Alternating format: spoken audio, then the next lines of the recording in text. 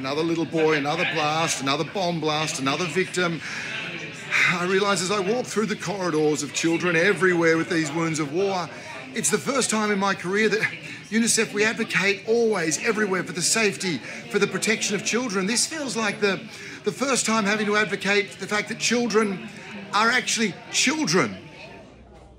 And so as I sit here now with this little guy, with Yusuf, four-year-old Yusuf, it's a sense of sadness and bewilderment, and, and yes, of anger at those who fail to see a moral equivalence in children's lives. It's the essence of what UNICEF does. A child is a child, and yet still those who are somehow able to justify or ignore what is said to be now around 40 girls and boys killed every day over the course of this war on children.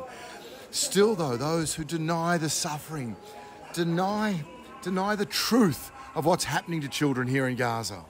But as I am always telling Gazans, they are not forgotten. They are in hearts around the world.